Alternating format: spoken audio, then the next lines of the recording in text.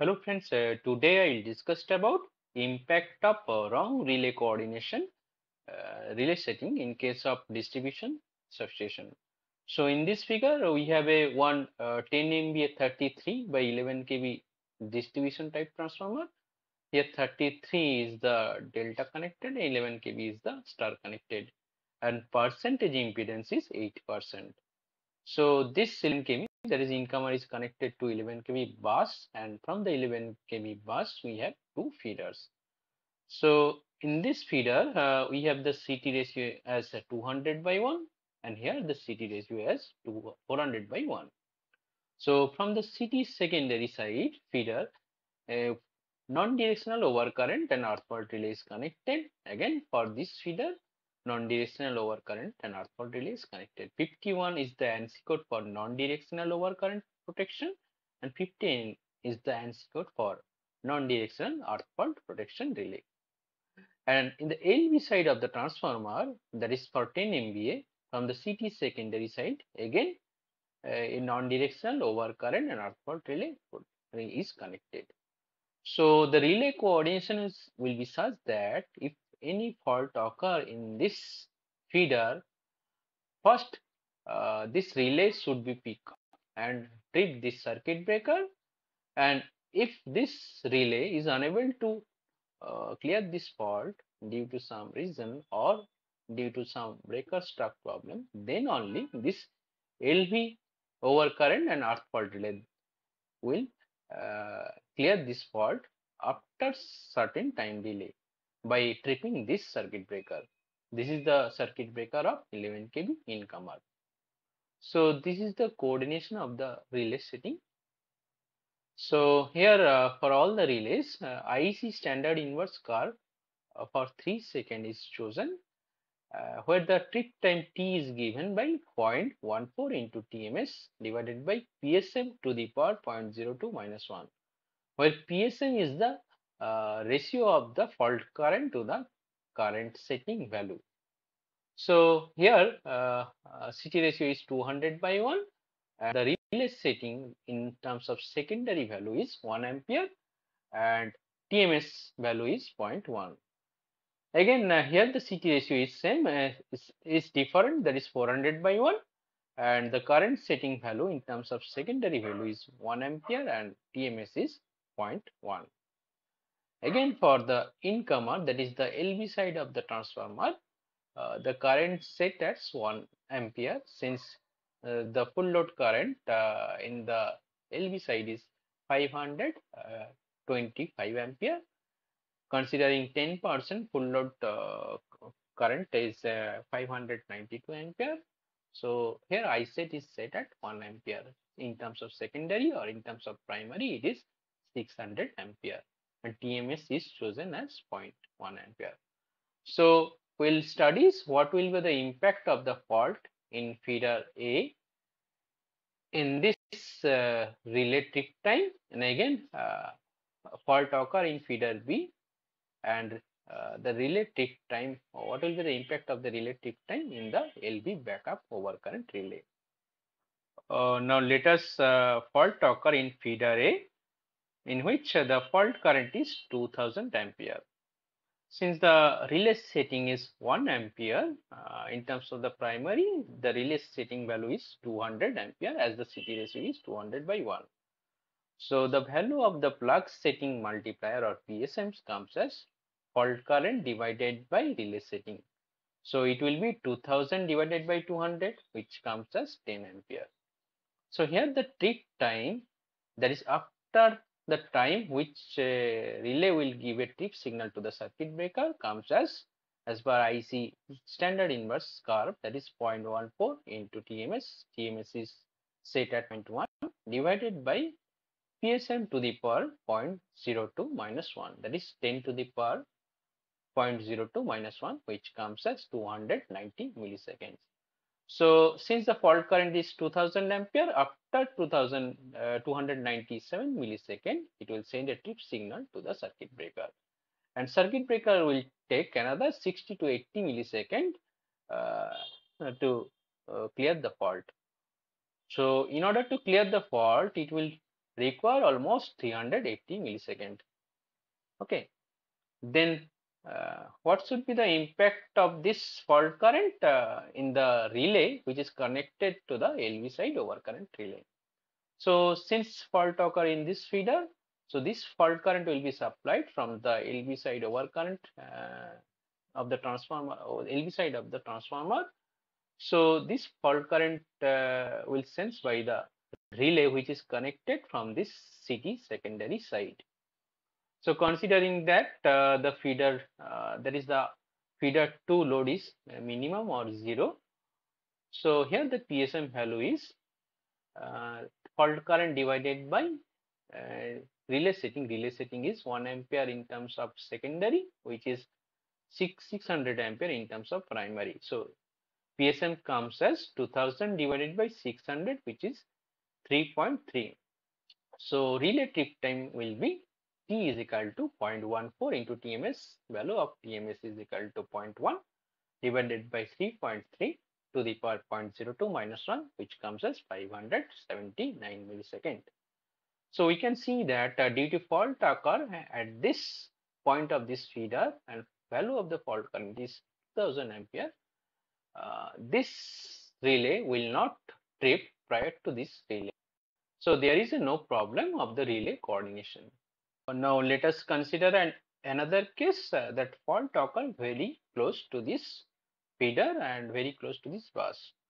So what will be the maximum fault current? Uh, so this maximum fault current will be uh, governed by the percentage impedance of the transformer. Since the percentage impedance of the transformer is 8%, so maximum fault current will be uh, the full load current in the LV side divided by percentage impedance which comes as 525 divided by 0.08 since 525 is the full load current in the LV side of the 10 MVA transformer. So value of the maximum fault current is 6563 ampere. So due to fault occur very close to this bus but in this feeder the fault current value will be maximum and here the IF is equal to 6563 ampere. So the PSM value for this relay that is relay which is connected in the CT secondary side of the feeder A will be 6563 divided by, uh, divided by 200 which comes as 32.8. So the value of the trip time uh, which is taken by the relay is equal to uh, 0.14 into 0.1 divided by 32.8 to the power 0.02 minus 1 which comes as 193.6 millisecond. So due to fault occur very close to this feeder, this fault current will be supplied by this transformer and uh, this relay will pick up at the same time. So in this relay, the PSM value is 6563 divided by 600 which is 10.94. So what is the trip time? Trip time is uh, given by 0.14 into 0.1 divided by PSM to the power 0.02 which is 10 to the 10.94 to the power 0.02 minus 1 which comes as 285.6 millisecond. So here the difference between the uh, trip time which is taken by this relay and this relay is almost uh, 90 millisecond. So there is a, a close approximation uh, only 90 millisecond difference is there for tripping time. So here should be the margin should be a, almost 100 should be above 100 millisecond 100 to 120 millisecond. But uh, since the tripping time tripping time of the circuit breaker is 60 millisecond and within after 60 to 80 millisecond fault will be cleared so there is no problem uh, for relay setting of this feeder with the LV side of the incomer. Now let us consider that uh, fault occur in the feeder B. Uh, let us consider that uh, fault current is uh, 2000 ampere for the same case uh, it was happened in case of feeder A. So here fault current I is equal to 2000 ampere since the fault current is supplied by this uh, transformer. So here the value of the PSM is equal to uh, mm, fault current divided by current setting. Current setting is set as 1 ampere in terms of secondary. So in terms of primary, it will be 400 since the CT ratio is 400 by 1.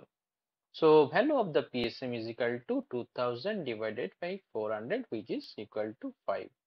So the trip time uh, which is taken by the relay to give a trip signal to the circuit breaker is equal to 0.14 into TMS that is 0.1 divided by 5 to the power 0.02 minus 1 which comes as 428 millisecond. Now let us uh, take uh, the same uh, example that is the due to fault current at feeder A what will be the trip time uh, or trip time taken by this LV over current relay. So in this case uh, the value of the PSM is 2000 divided by 600 which comes as 3.3 and the value of the tick time which is given as as per IC uh, standard inverse uh, for 3 second curve is equal to 0.14 into 0.1 divided by 3.3 to the power 0.02 minus 1 which is 579 millisecond. So in case of lower fault current there is a no problem since there is a margin of uh, almost uh, 150 millisecond uh, difference between the tripping time of the LV backup overcurrent relay and the feeder overcurrent relay. Uh, now let us discuss that uh, fault occur very close to the 11 kV bus, but uh, this fault occur this feeder. So due to uh, fault occur very close to the 11 kV bus, maximum fault current will be supplied by the transformer. So in this case, uh, the maximum fault current is equal to 6563 ampere. So let us discuss what will be what will be the impact of uh, the maximum fault current of the tripping time of this relay and the backup overcurrent relay of the LV side of the transformer. So here the PSM is equal to uh, 6563 divided by 400 which comes as 16.41. So the trip time of the relay comes as 0.14 into 0.1 divided by 16.41 to the power 0.02 minus 1 which comes as 440 243 millisecond. So this is the tripping time uh, taken by the relay. So uh, again breaker will take another 60 to 70 milliseconds. So uh, total there will be 300 to 307 uh, 310 millisecond in order to clear this fault. So in case of fault occur in this feeder, what will be the impact of the relay trip time for the LV side backup over current relay? So in this case, uh, the PSM value is equal to the fault current divided by relay setting, which is equal to 6563 divided by 600, which comes as 10.94 so the relative time is equal to 0.14 into 0.1 divided by 10.94 divided to the power 0.02 minus 1 which comes as 280 milliseconds.